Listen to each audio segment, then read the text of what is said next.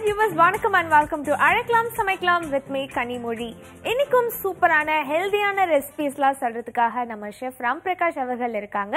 உங்களுக்கு என்னென்ன ரெசிபிஸ்லாம் கேட்கணும்னு தோணுதோ அதெல்லாமும் நம்ம ஷோக்கு நீங்க கால் பண்ணி கேட்டு தெரிஞ்சுக்கலாம். ஷெஃப் கிட்ட பேசலாம். வணக்கம் ஷெஃப் வணக்கம். எப்படி இருக்கீங்க ஷெஃப் ரொம்ப நல்லா இருக்கேன். நீங்க எப்படி இருக்கீங்க? நான் ரொம்ப ரொம்ப நல்லா இருக்கேன் ஷெஃப் ஸோ இன்னைக்கு குறிஞ்சி பகுதியில இருந்து என்ன ரெசிபி குறிஞ்சி ரொம்ப நாளா போயிட்டு இருக்கு. ஆனா சொல்லக்கூடிய விஷயங்கள் அவ்வளவு நிறைய இருக்கு. ஸோ அதனால வந்துட்டு குறிஞ்சிலே இன்னைக்கும் ஆஹ், இலை கறி பிரட்டல்னு சொல்லிட்டு ஒரு டிஷ் இருந்திருக்கு. ஸோ அந்த டிஷ் எப்படின்னா வேட்டைக்கறி மாமிசங்கள்லாம் இருக்கும் இல்லையா? ஸோ அந்த மாமிசங்கள்லாம் கட் பண்ணி எடுத்துட்டு அதை வந்து இலைகளில் போட்டு மடித்து வேக வச்சு அதாவது மசாலாலாம் போட்டு பிரட்டி வேக வச்சுருவாங்க. ஸோ அந்த வேக்காடு வச்சு சாப்பிட்றது தான் இலைக்கறி பிரட்டல்னு. ஸோ அன்னைக்கு காலத்தில் அந்த மாதிரி இயல்பாக சாப்பிட்டாங்க. இன்றைக்கி எப்படி நம்ம பெட்டராக வந்து நம்ம வீட்டில் செஞ்சு சாப்பிட்லாம் குழந்தைங்களுக்கு ஆரோக்கியமான விஷயத்தோட சேர்த்து டேஸ்ட்டாகவும் எப்படி பண்ணுறதுன்றதான் இந்த டிஷ்ஷோட நோக்கம். ஸோ நான் சொல்கிறேன் குறிச்சிக்குங்க. இலைக்கறி பரட்டல் பண்ணுறதுக்கு பேசிக்காக என்ன வேணும்னா வாழை இலை. ஸோ வாழை இலையை வந்துட்டு தண்டெல்லாம் நீக்கிட்டு வாழை இலை எடுத்துக்கங்க. ஸோ வாழை இலையை வந்து க்ளீன் பண்ணி வாஷ் பண்ணி எடுத்து வச்சுக்கலாம். அதுக்கப்புறம் வந்து கறி. கறியை வந்து நல்லா வந்து தின் ஸ்லைஸாக அதாவது ரொம்ப திக்காக இருந்ததுன்னா குயிக்காக வேகாது. ஸோ அதனால் கொஞ்சம் ஓரளவுக்கு பொடியாக கட் பண்ணி சுக்காவுக்குலாம் கட் பண்ணுவோம் இல்லையா? ஸோ அந்த மாதிரி கட் பண்ணி வாங்கிக்கோங்க. வாங்கிட்டு ஒரு கையளவுக்கு இஞ்சி பூண்டு பேஸ்ட்டு சேர்த்துங்க ஒரு கையளவுக்கு இஞ்சி பூண்டு பேஸ்ட்டு கொஞ்சமாக வந்துட்டு சீரக பொடி கொஞ்சம் சோம்பு பொடி அண்டு க்ரஷ் பெப்பர் மிளகு பொடி இருக்கு இல்லையா? மிளகு பொடியை வந்து அதில் போட்டுக்குங்க. போட்டுட்டு அதுக்கப்புறம் வந்து ஜாதிக்காய்ன்னு சொல்லிட்டு சொல்லி நட்பக்குன்னு கடைகள் எல்லாம் கிடைக்கும். ஜாதிக்காய் கொட்டை மாதிரி இருக்கும். ஸோ அதை லைட்டாக கிரேட் பண்ணி அதில் தூவி விட்டு எல்லாத்தையும் போட்டு அதாவது கொஞ்சமாக தான் போடணும். அது ரொம்ப போட்டிங்கன்னா கசப்பு தன்மை வந்துடும் ஸோ எல்லாத்தையுமே போட்டு நல்லா பரட்டிட்டு கொஞ்சமாக வந்து கருவேப்பில்லை கொஞ்சோண்டு மல்லி இலை போட்டு எல்லாத்தையும் பரட்டிட்டு இலையில போட்டு நல்லா ரோல் பண்ணி டைட்டாக போட்டு கட்டிட்டு இட்லி பாத்திரத்தில் போட்டு நல்லா ஸ்டீம் பண்ணி குறைஞ்சது ஒரு டுவெண்ட்டி மினிட்ஸ் ஸ்டீம் பண்ணி எடுத்துருங்க. எடுத்ததுக்கப்புறம் வந்துட்டு அந்த இலையோட சேர்த்து கடாயில் தோசைகளில் போட்டு ஃப்ரண்ட் அண்ட் பேக் க்ரில் பண்ணிவிட்டு சர்வ் பண்ணுங்க. ரொம்பவே சூப்பராக இருக்கும். ஓப்பன் பண்ணும்போது நல்ல கம கமன் வாசனை அவ்வளோ அற்புதமாக இருக்கும். அது வாழை இலையோட வாசனையாக இல்லை மட்டனோட வாசனையான்னு இல்லாமல் எல்லாமே கலந்து ரொம்பவே அற்புதமாக இருக்கும். கண்டிப்பாக ட்ரை பண்ணி பாருங்க. எனக்கு வந்து செம்மையா பசிக்குது ஷெஃப் நீங்க சொன்ன உடனே எனக்கு அதை சாப்பிடணும் அப்படின்ற மாதிரி பயங்கரமா ஆசையா இருக்கு. So, கண்டிப்பா எல்லாருமே ட்ரை பண்ணி பாருங்க. இப்ப நம்ம ஷோட ஃபர்ஸ்ட் காலர் லைன்ல இருக்காங்க. பேசலாம். வணக்கம். ஹலோ வணக்கம் மேடம் வணக்கம்மா. உங்க பேர் சொல்லுங்க. என் பேர் தேவி மேடம் எங்க இருந்து கால் பண்றீங்கம்மா? வாணியம்பாடில இருந்து பேசுறேன் மேடம் சரிங்கம்மா. எப்படி இருக்கீங்க? நல்லா இருக்கேன் மேடம். நீங்க எப்படி இருக்கீங்க? நாங்க எல்லாரும் ரொம்ப ரொம்ப நல்லா இருக்கோம்மா. நன்றிம்மா. நீங்க டெய்லி சூப்பரா ட்ரெஸ் பண்ணிட்டு வரீங்க. ஓ தேங்க்யூ ஸோ மச்மா ரொம்ப ரொம்ப நன்றிம்மா. இன்னைக்கு என்னம்மா ரெசிபி கேட்க போறீங்க? அஹ், ரவா இட்லி எப்படி செய்யறதுன்னு கேட்க போறேன் சார் சரி சரிங்கம்மா. ஷெஃப் இருக்காங்க பேசுங்கம்மா. வணக்கம். எப்படி இருக்கீங்க சார் நல்லா இருக்கேன். நீங்கள் எப்படி இருக்கீங்க? நல்லா இருக்கேங்க சார். நீங்க சொல்ற ரெசிபி எல்லாம் நான் ட்ரை பண்ணி பார்த்துட்டு தான் இருக்கேன். ஓகே நல்லா வருதுங்களா? ஆமா ஏதோ வருது சார். ஏதோ வருதா? நீங்க அப்ப ஏதோ மிஸ்டேக் பண்றீங்கன்னு அர்த்தம். ஏதோ வருதுன்னா. அது என்னமோ கரெக்ட் தான் சார். கண்டிப்பா வந்து ஏதோ வருதுன்னா சில பல. அதாவது நான் சொல்றது சில ட்ரெஸ் எல்லாம் நல்லா வருது. ஒன்னொன்னு தான் சொதப்புலாயிடுது. அதுக்கு காரணம் வந்து அதுக்கு கொஞ்சம் மெனக்கெட்டீங்கன்னா நானும் கொஞ்சம் வேகமா சொல்றேன் நிறைய பேரோட கமெண்ட்ஸ் ஸோ அதனால உங்களால சரியா கவனிக்க முடியலன்னு அதே நேரத்துல வந்து ஒரு சில விஷயங்களை நீங்களும் மிஸ் பண்ணிடுறீங்கன்றதான் என்னுடைய கருத்து. என்னன்னா நீங்க டக்கு டக்குன்னு பண்ற அவசரத்துல நாம சொல்ற விஷயங்களை ஒரு சிலதை ஃபாலோ பண்ணாம பண்ணும்போது ஒரு சிலது மிஸ் ஆகும். ஸோ அதான் விஷயம். இன்னைக்கு வந்து என்ன ரவா இட்லி எப்படி பண்றது அப்படின்னு சொல்லி கேட்டிருக்கீங்க இல்லையா? ஸோ நான் சொல்லிடுறேன் குறிச்சிங்க. ரவா இட்லி சேம் நேற்று சொன்ன மாதிரியே பாட்டினேன் ஸோ அதை வந்து கொஞ்சமாக மாற்றி பண்ண வேண்டிய ப்ரொசீஜர் என்னன்னு பார்த்தீங்கன்னா ரவை வந்து ஒரு ஒரு மூணு டம்ளர் அளவுக்கு எடுக்கிறீங்கன்னா உதாரணத்துக்கு ஒரு நாலு அஞ்சு டம்ளர் அளவுக்கு தயிர் கட்டியாக இருக்க தயிர் எடுத்துக்கணும். ஸோ அந்த ரவையை வந்து நல்லா கொஞ்சமாக வந்து தண்ணி வெது வெதுப்பான தண்ணி விட்டு ஊற வச்சு எடுத்துகிட்டு வடிகட்டிட்டு அந்த தண்ணி இல்லாமல் இஞ்சிற அளவுக்கு எடுத்துகிட்டு அதுக்கப்புறம் இங்கே தயிர் ஆட் பண்ணுங்கள் தயிர் ஆட் பண்ணிவிட்டு நல்லா மிக்ஸ் பண்ணிக்கோங்க. மிக்ஸ் பண்ணிவிட்டு வழக்கம் போல் கொஞ்சமாக சின்னதாக ஒரு தாளிப்பு. அந்த தாளிப்பில் என்ன பண்ணணும்னா கொஞ்சோண்டு கடுகு போடுங்க. அண்ட் கொஞ்சம் ஜீரகம் போட்டுங்க. பூண்டு நறுக்கின பூ பூண்டு அண்ட் இஞ்சி சின்ன வெங்காயம் லைட்டாக ரோஸ்ட் பண்ணிட்டு கருவேப்பிலை போட்டுங்க போட்டு தாளிப்பை போட்டு இந்த தாளிப்பை இதில் கொட்டிக்குங்க. மிக்ஸ் பண்ணிடுங்க மிக்ஸ் பண்ணிவிட்டு கொஞ்சமாக வந்து மல்லி இலை போட்டுங்க. சால்ட்டு போட்டு நல்லா மிக்ஸ் பண்ணி ஒரு டுவெண்ட்டி மினிட்ஸ் அதாவது ஒரு அரை ம இருபது நிமிஷம் நல்லா வந்து ஊற வச்சிருங்க. ஊற வச்சதுக்கப்புறம் ஃபர்மெண்டேஷன் நல்லா பொங்கி வந்த மாதிரி இருக்கும். அதை எடுத்து அப்படியே வந்து இட்லி ஸ்டீமரில் வந்து ஊற்றி கரெக்டாக வந்து மூணு நிமிஷம் மூணு நிமிஷத்துலேருந்து அஞ்சு நிமிஷத்துக்குள்ளே குக் பண்ணி எடுத்தீங்கன்னா ரொம்பவே சூப்பராக இருக்கும். ரவா இட்லி ஊற்றுறதுக்கு முன்னாடி அந்த இதில் வந்துட்டு கொஞ்சமாக வந்துட்டு இலை இலை போட்டு ஊற்றுனீங்கன்னா இன்னும் சூப்பராக இருக்கும். அப்படி இல்லைன்னா கொஞ்சமாக வந்துட்டு எண்ணெய் தேங்காய் எண்ணெய் அந்த மாதிரி ஏதாவது எண்ணெய் வந்து அப்ளை பண்ணிட்டு ஊற்றுனீங்கன்னா ஒட்டாமல் பர்ஃபெக்டாக வரும். கண்டிப்பாக ட்ரை பண்ணி பாருங்க. நம்ம ஷோட அடுத்த காலர் லைன்ல இருக்காங்க. வணக்கம். ஹலோ வணக்கம். உங்க பேர் சொல்லுங்க. என் பேர் ஜெயகிருஷ்ணா. ஓகே எங்க இருந்து கால் பண்றீங்க? சென்னையிலேருந்து. சென்னையில இருந்து அழகா பேசுறீங்களே நீங்க படிக்கிறீங்களா? ஆமாம் என்ன படிக்கிறீங்க? ஃபிஃப்த்து ஃபிஃப்த் ஸ்டாண்டர்ட் படிக்கிறீங்களா? ஸ்கூல் ஸ்டார்ட் ஆயிருச்சே. இல்லை எனக்கு பதிமூணாம் தேதின்னு சொன்னாங்க ஜாலியா அப்போ? ஆமாம் ஓகேம்மா என்ன ரெசிபி கேட்க போறீங்க இன்னைக்கு? கேரட் மைசூர் பாக் கேரட் மைசூர் பாக் இந்த ரெசிபி கேட்க சொல்லி யார் சொன்னது? எங்கள் அம்மா ஐ மீன் எங்கள் பாட்டி. ஓ ஓகேம்மா ஷெஃப் இருக்காங்க பேசுங்க. குட்டிமா எப்படி இருக்கீங்க? ஆ நான் நல்லா இருக்கேன். ஓகே நல்லா இருக்கேன். உன் பேச்சிலே தெரியுது நீ ரொம்ப நல்லா இருக்கேன்னு. என்னைக்குமே இதே சந்தோஷத்தோட இருக்கணும். இன்னைக்கு என்ன ரெசிபி கேட்க போறீங்க? Carrot Mysore pak carrot Mysore pak carrot Mysore பாக்னு ஒரு டிஷ்ஷே இல்ல. ஏதோ கேட்கணுன்றக்காண்டி அங்கிளை கொடுத்து விடாத. இல்லை ஸ்வீட் அந்த மாதிரி ஸ்வீட் இருக்கு. ஓகே கேரட் ஹல்வா வேணா இருக்கு. இல்லைன்னா மைசூர் பாக்குன்னு செப்பரேட்டா இருக்கு. கேரட் மைசூர் பாக்குன்னு ஒரு ஸ்வீட்டு அங்கிளுக்கு தெரிஞ்ச வரைக்கும் இல்ல. பட் ஆனா உனக்கு நான் கேரட் அல்வா சொல்லணும்னா சொல்லு. அதர்வைஸ் வந்துட்டு மைசூர் பாக் சொல்லணும்னா சொல்லுங்க சரி மைசூர் பாக் சொல்லுங்க. எஸ் அதுல கேரட் போட்டுப்போம். அதுல கேரட் போட்டுக்கிறேன். அப்படிதானே?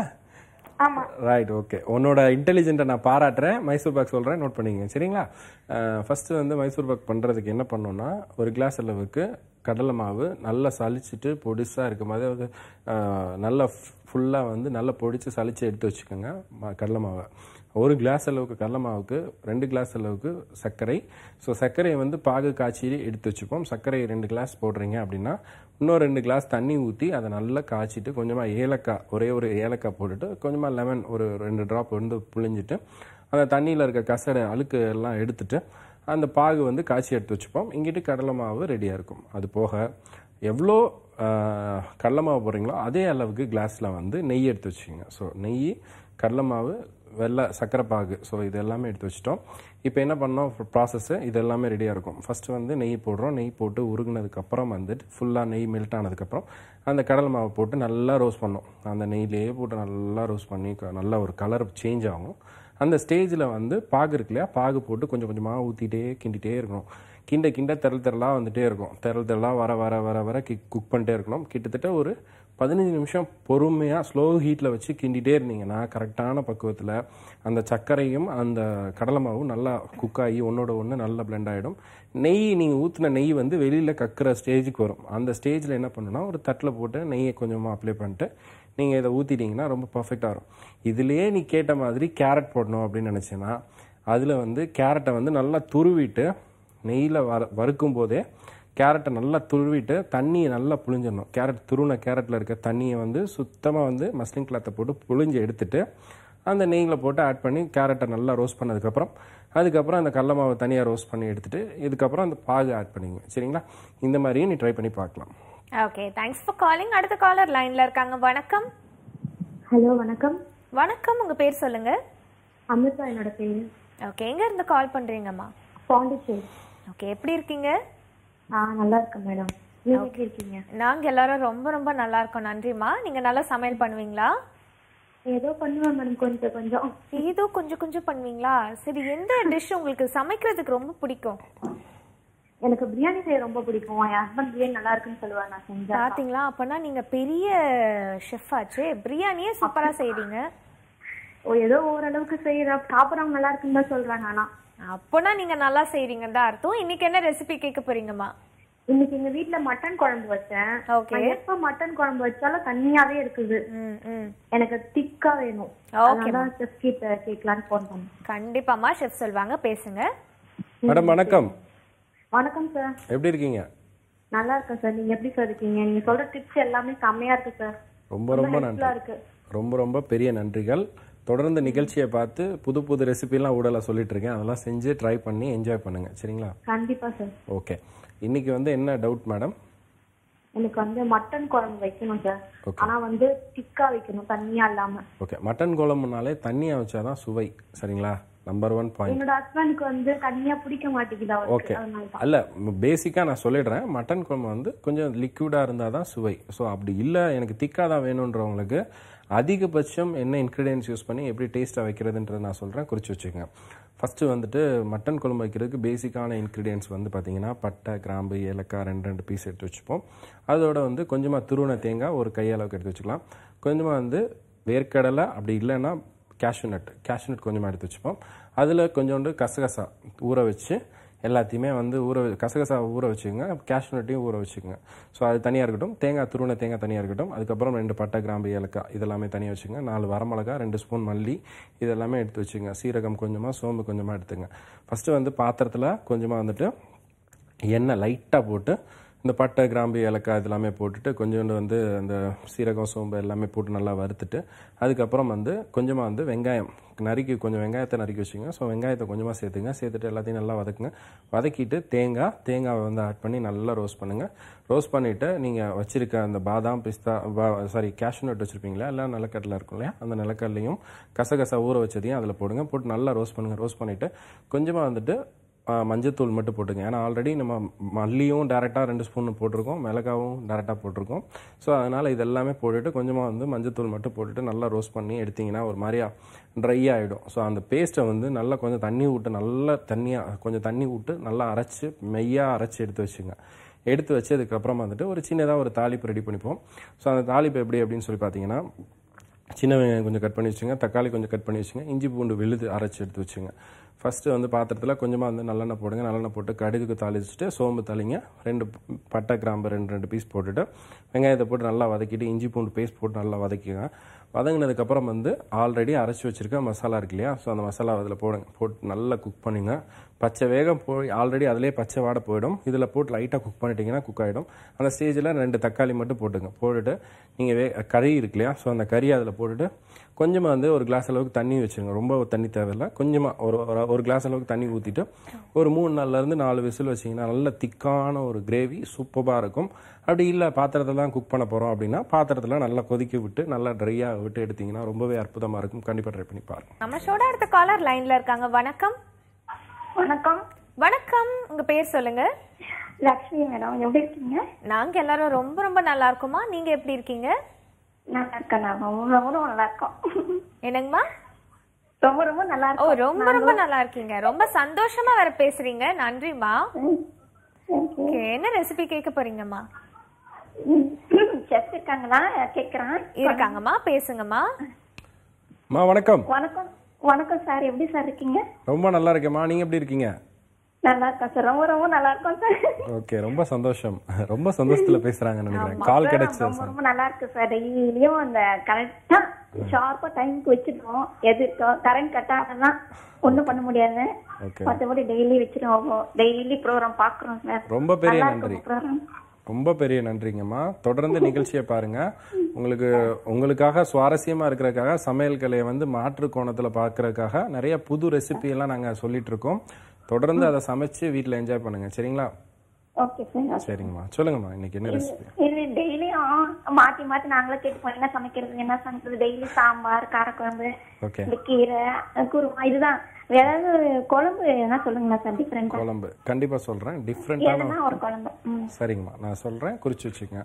குழம்பு வகைகளில் வந்துட்டு அவங்க வித்தியாசமாக ஏதாவது ஒரு குழம்பு கேட்டிருக்காங்க இல்லையா? ஸோ அது ரொம்பவே எல்லாருக்கும் இன்னைக்கு இருக்கக்கூடிய ஒரு முக்கியமான ஒரு தேவையாக இருக்குது தேடலாக இருக்குது ஸோ இதுக்கு என்ன காரணம் அப்படின்னு சொல்லி பார்த்தீங்கன்னா சீக்வன்ஸ் ஆஃப் ரெசிபி மெத்தட் அதாவது பேசிக்காக வந்து பருப்புன்னா ஒரு இன்க்ரீடியன்ஸ் தான் இருக்குது அதாவது துறம்பருப்பு பாசி பருப்பு இது ஒன்று தான் இருக்குது அப்படின்னு சொல்லிட்டு இருக்கோம்.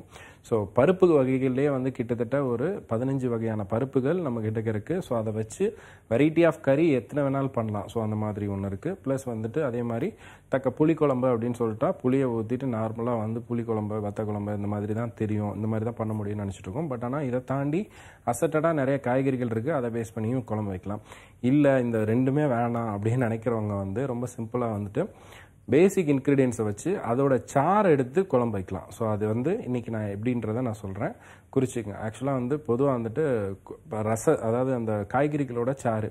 அதை வந்து அரைச்சி அறவையாக பண்ணி ஒரு கறி மாதிரி பண்ணி அது தொடுக்கறியாக வந்து சாதத்துக்கு போட்டு பரட்டி சாப்பிட்றது எப்படி அப்படின்னு நான் சொல்கிறேன் குறித்து வச்சுக்கோங்க. பொதுவாக வந்துட்டு வாழை பா வாழைக்காய் இருக்கு இல்லையா? ஸோ வாழைக்காயெல்லாம் வந்துட்டு ஜென்ரலாக வந்து நீங்கள் நார்மலாக வந்து குட்டு இந்த மாதிரி இதெல்லாம் பண்ணி சாப்பிட்ருப்பீங்க வாழைக்காய் வச்சு ஒரு கறி எப்படி அப்படின்னு சொல்லி பார்க்குறத நான் இப்போ நான் சொல்கிறேன் குறித்து வச்சுங்க. வாழைக்காய் கறி பண்ணுறதுக்கு வாழைக்காய் வந்துட்டு நல்லா கட் பண்ணி க்யூப்ஸ் க்யூப்ஸாக கட் பண்ணி தனியாக எடுத்து வச்சுப்போம். இது போக வாழைக்காய் வந்து கொஞ்சமாக வந்து வேக்காடு போட்டு மையாக வந்து வேக வச்சு அதை பிசைஞ்சு தனியாக எடுத்து வச்சுப்போம். இதுக்கப்புறம் வந்துட்டு பாத்திரத்தில் தக்காளி வந்து ஒரு நாலு அஞ்சு தக்காளி வந்து நல்லா பியூரியாக அடித்து அதாவது தக்காளி வந்து பேஸ்ட்டு மாதிரி அடித்து தனியாக எடுத்து வச்சுக்குவோம். நல்லா பேஸ்ட் நல்லா மையாக அரைச்சி பேஸ்ட்டை வந்து எடுத்து வச்சுப்போம். அதாவது இந்த மேலே இருக்க தோல்லாம் வந்து நல்லா கரைஞ்சிருக்கணும். ஸோ அந்த மாதிரி அடித்து தனியாக எடுத்து வச்சுக்குவோம். அதுக்கப்புறம் வந்து பாத்திரத்தில் கொஞ்சமாக வந்து தேங்காய் ஆட் பண்ணிங்க. தேங்காய் தான் இதோட வாசனையே. ஸோ அதனால் தேங்காய் ஆட் பண்ணிங்க. தேங்காய் ஆட் பண்ணிவிட்டு அதில் கொஞ்சமாக வந்துட்டு கடுகு கொஞ்சமாக வந்து சீரகம் கொஞ்சம் சோம்பு தாளிச்சுங்க. தாளிச்சிட்டு டைரெக்டாக வந்து அந்த தக்காளியை போடுங்க. தக்காளி அண்ட் கருவேப்பிலை போட்டு கருவேப்பிலை போடுங்க. கருவேப்பிலை போட்டதுக்கப்புறம் தக்காளி அந்த பியூரி இருக்குல்லையா அதை போட்டு நல்லா குக் பண்ணுங்க. நல்லா குக் பண்ணிவிட்டு நல்லா ஒரு மாதிரி அதை கொதிச்சு நல்லா வரும். அந்த ஸ்டேஜில் வந்துட்டு நீங்கள் வேக வச்சுருக்க அந்த வாழை வாழை வாழைக்காய் இருக்கு இல்லையா? ஸோ அந்த வாழைக்காவை அதில் போடுங்க. வாழைக்காவை அதில் போட்டு நல்லா வதக்குங்க. வதக்கும் போது கொஞ்சமாக வந்துட்டு சைடில் வந்து கொஞ்சோண்டு தேங்காய் துருவின தேங்காய் எடுத்து நல்லா பேஸ்ட் மாதிரி அரைச்சி அந்த பேஸ்ட்டையும் அதில் ஆட் பண்ணிங்க. ஆட் பண்ணி எல்லாத்தையும் போட்டு நல்லா பச்சை வேகம் போகிற அளவுக்கு குக் பண்ணிக்கோங்க. குக் பண்ணும்போது கொஞ்சமாக வந்து ஒரு ஒன்றரை ஸ்பூன் அளவுக்கு மிளகாத்தூள் மட்டும் சேர்த்துங்க. வேறு எதுவும் சேர்க்க வேணாம். மல்லித்தூள் அந்த தூள் இந்த தூள் எதுவுமே தேக்க சேர்க்க தேவையில்லை. ஸோ அதை மட்டும் போட்டு நல்லா பச்சை வேகம் போகிற அளவுக்கு குக் பண்ணிங்க. குக் பண்ணிவிட்டு இந்த சைடில் என்ன பண்ணலாம்னா க்யூப்ஸ் க்யூப்ஸாக கட் பண்ண வாழைக்காய் வந்துட்டு கொஞ்சமாக வந்து எண்ணெயில் போட்டு லைட்டாக மேலாப்பில் வந்துட்டு எண்ணெயில் போட்டு ஃப்ரை பண்ணி எடுத்துங்க எடுத்துட்டிங்கன்னா அதோட அதோட தன்மை வந்து கொஞ்சம் மொறுமொறுன்னு இருக்கும். உள்ளேயும் கரெக்டாக குக் ஆகிருக்கும் ஸோ அந்த வாழைக்காயை இதில் டேரெக்டாக போட்டு நல்லா பரட்டி வச்சிட்டிங்கன்னு வச்சுக்கோங்களேன். ஒரு நல்ல ஒரு மசாலா வாழைக்காய் தொக்கு மாதிரி ஒரு சூப்பரான ஒரு டேஸ்ட்டில் இருக்கும். ஸோ அதை வந்து சாதத்தில் போட்டு பரட்டி சாப்பிட்றதுக்கு அவ்வளோ அற்புதமாக இருக்கும் ஏன்னா தேங்காய் எண்ணெயில் வேற பண்ணுறோம் தக்காளி தேங்காய் அண்டு வாழைக்காவோட அந்த மசியலையும் சேர்த்து கலந்து சாப்பிடும்போது ரொம்பவே அற்புதமாக இருக்கும். கண்டிப்பாக ட்ரை பண்ணி பாரு. ஸோ ரொம்பவே வித்தியாசமான ஒரு குழம்பு வகை சொல்லியிருக்காரு. எல்லாருமே ட்ரை பண்ணி பார்க்கலாம். தேங்க்ஸ் ஃபார் காலிங் இப்போ அடுத்த காலர் லைன்ல இருக்காங்க. வணக்கம். வணக்கம். வணக்கம். உங்க பேர் சொல்லுங்கம்மா. என் பேர் கனிபாரதி. எங்க இருந்து கால் பண்றீங்க? திருச்சியில இருந்து. ஓகே நீங்க படிக்கிறீங்களா? ஆமா. என்ன படிக்கிறீங்கப்பா? நைன்த் ஸ்டாண்டர்ட் நைன்த் ஸ்டாண்டர்ட் படிக்கிறீங்க. நல்லா படிப்பீங்களா? ஓரளவுக்கு நல்லா படிப்பேன்க்கா. ஓரளவுக்கு அப்புறம் நல்லா படிப்பேன். டவுட் ஆயிருச்சு. ஃப்ரேம்ல நிறைய பேர் பாக்குறாங்களா இல்லையா? ஆமா. இல்ல அவரு சுறுசுறுப்பா பேசுறாரா? சோ ஒருவேளை சுறுசுறுப்பா. அதே மாதிரி படிப்பாரோ. அப்படின்னு எனக்கு வந்து தோணுச்சு. அதனால தான் கேட்டேன். Okay, என்ன ரெசிபிமா கேட்க போறீங்க? பன்னீர் பட்டர் மசாலா எப்படிக்கா பண்ணணும்? அது கேட்கணும்க்கா. பன்னீர் பட்டர் மசாலா எப்படி பண்றது? நம்ம அக்காவுக்கே தெரியாது. இங்க பிரச்சனையே. அதானே. தம்பி வணக்கம். வணக்கம் சார் எப்படி இருக்கீங்க? நல்லா இருக்கேன் சார். சூப்பர். என்ன ஸ்கூலுக்குலாம் போகலையா கட்டா சார் ஜூன் இருபத்தொன்னு தான் சார் ஸ்கூலு. ஓ சம்மரை முன்னிட்டு கொஞ்சம் ஸ்கூலை தள்ளி வச்சிருக்காங்களா? Okay fine. ஆமா சார். சூப்பர் செல்லம். அப்போ இன்னைக்கு நீங்க பன்னீர் பட்டர் மசாலா செஞ்சே ஆகணும்னு ரெடியா இருக்கீங்க ரைட் சூப்பர். நான் சூப்பரா சொல்றேன். அதே மாதிரி பண்ணுங்க. ரொம்ப உங்களுக்கு ஈஸியா புரியுற மாதிரி நான் சொல்லித்தரேன் அதை நீங்க கத்துக்குங்க. சரிங்களா? ஃபர்ஸ்ட் வந்து பன்னீரை வந்து குட்டி குட்டியா கட் பண்ணி எடுத்துப்போம். அதாவது ஸ்கொயர் ஸ்கொயர் பீசஸா கட் பண்ணி எடுத்துப்போம். கட் பண்ணி எடுத்துட்டு ஆயில்ல லைட்டா போட்டு ஃப்ரை பண்ணி எடுத்துட்டு தண்ணியில போட்டு வச்சிருங்க. அதுக்கப்புறம் வந்து தக்காளி கேஷ்யூநட் பேஸ்ட்டு கொஞ்சம் அதாவது கேஷ்யூநட்டு தக்காளி அதாவது முந்திரியும் தக்காளியும் நல்லா வேக வச்சு நல்லா வந்து வேகட்டும். வெந்து அந்த தண்ணியோடு சேர்த்து நல்லா பேஸ்ட் மாதிரி அரைச்சி எடுத்துங்க. எடுத்துகிட்டு ஒரு பக்கம் வந்து திக்கான பால் சுண்டை காய்ச்சின பால் கொஞ்சமாக எடுத்து வச்சுங்க. இதுக்கப்புறம் வந்து எல்லாம் ரெடி ஆயிடுச்சு. ஃபஸ்ட்டு வந்து பாத்திரத்தில் கொஞ்சமாக பட்டர் சேர்த்து சேர்த்துங்க. சேர்த்துட்டு கஸ்தூரி மேத்தின்னு சொல்லிட்டு கடைகளெல்லாம் கிடைக்கும். ஸோ அந்த கஸ்தூரி மேத்தி கொஞ்சமாக சேர்த்துங்க. கொஞ்சோண்டு சோம்பு போட்டுங்க. போட்டு நல்லா ரோஸ்ட் பண்ணிவிட்டு கொஞ்சோண்டு பூண்டு. பொடியான இருக்குன்னா பூண்டு அதில் சேர்த்துட்டு நல்லா வறுத்துக்குங்க. வறுத்துட்டு கொஞ்சம் ஒன்றரை ஸ்பூன் அளவுக்கு மிளகாத்தூள் கொஞ்சமாக வந்து சோம்புத்தூள் போட்டு நல்லா ரோஸ்ட் பண்ணிவிட்டு அரைச்சி வச்சுருக்க தக்காளி அண்ட் கேஷ்நட் பேஸ்ட் ரெண்டையுமே போட்டு நல்லா கொதிக்க விடுங்க. பச்சை வேகம் போய் நல்லா கொதித்து நல்லா பர்ஃபெக்டாக வரும்.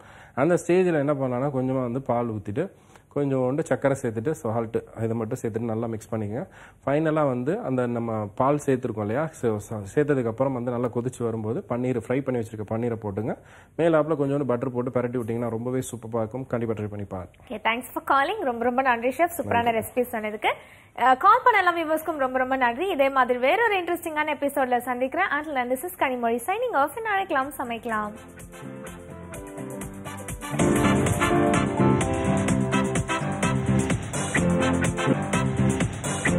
Thank